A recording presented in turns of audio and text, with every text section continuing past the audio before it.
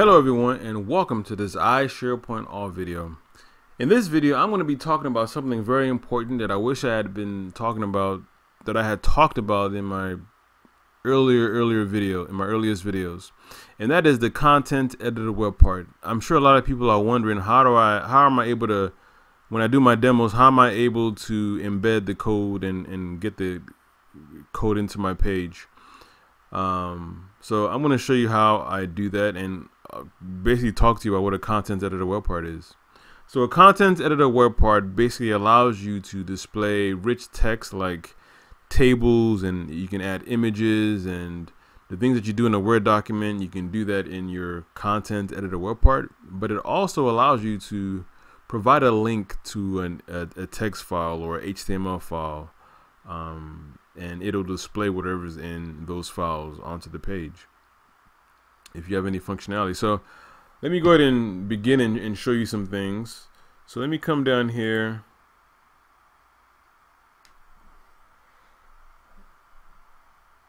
Go to site pages.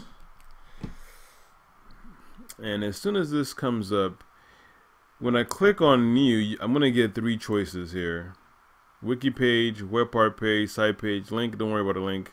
Um, and all these, these pages, wiki page and web part page, it, it allows me to add a content editor web part to it. The site page, on the other hand, that's the, the new page that is being created for the SharePoint Online. Is the, the, the modern, has a modern look. And there's no option to add a content editor web part. And I, I hope Microsoft adds it back because all developers love the content editor web part. So, um, I created a wiki page already. I called it content editor. Where is it? Oh, I guess I didn't. So let me come here and add a page, wiki page. EWP. Let's say create.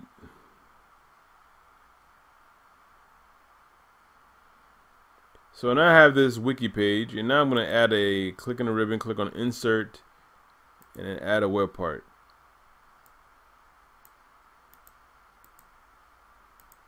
Web part, add.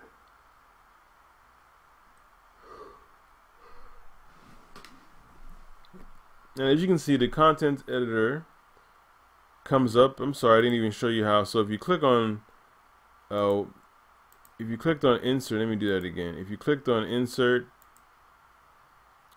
web part, you have these different categories of web parts. Um, and the one that we're looking for is in the media and contents. And if you click on contents editor, click add, and that's what added that was that's what that was added here. Now if you click on this little chevron, I believe they call it, and you click on edit web part, because to be able to use this web part, you got to add it when you want to add content. And then once you do that, you click on this click here to add new content. Click on that. And then you can start adding text. Um, you can add tables. Uh, you can add videos, images, just different things you can you can you can add to this content editor web part. For those of you that like HTML, you can come here and click on edit source. You can put stuff in here. I wouldn't advise you to put anything like JavaScript in there, any scripts. Um, there's a script editor tag that you can use for that. So that's what you can do here. Let me go ahead and click OK and just save the page. And there you have it. Now you have this content editor here and let me show you how to get rid of that. So if I go and edit my web part again, edit web part, if you click on appearance, see this is the editor content editor. So you can either give it an appropriate title, it'll replace this, or like I always do most of the time, I come here, I say none to get rid of it. So click OK, save the page, and there you have it. Now, what I mostly use, because I do a lot of development, what I mostly use the content editor web part is to provide a link to my HTML page. So um, so it can display. So for example, I have this web part here, and let's look at something I recently did. Uh, let's see. Let me come here.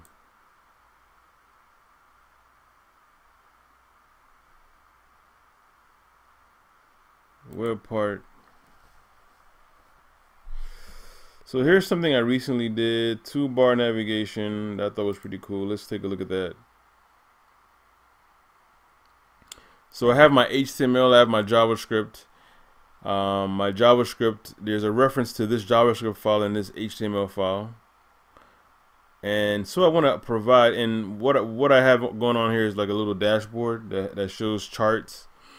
So you want to grab the URL to this, um, and then you want to provide it in your content editor web part page. So let me, let's go to site contents.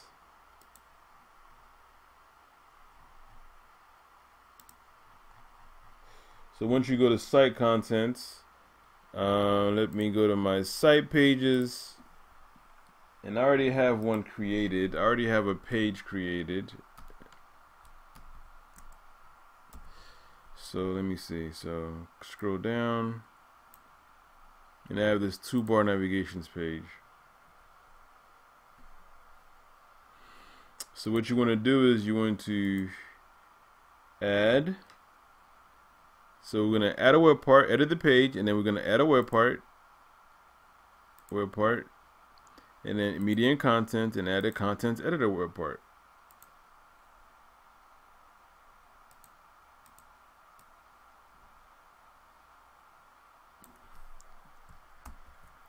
And so once you do that, you edit the web part, and I've already grabbed the link. I have the link to that HTML page that I just showed you. To the file that, that is. And um, you click on here, see this content link? To link to a text file, type a URL. So I'm going to be linking to an HTML file. I'm just going to paste that in there, .html. Click OK.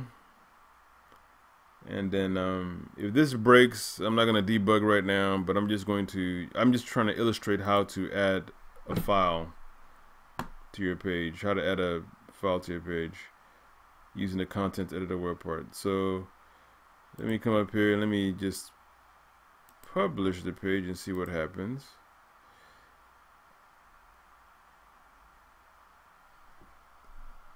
And so there you have it. This is all this is supposed to be going on the side, but as you can see, this is my little my dashboard that I've created um, using Chart.js, Vue Chart.js. And let me copy this link and take it to another page and see what happens. The page is still thinking, so that's why it's not showing properly. So let's refresh the page.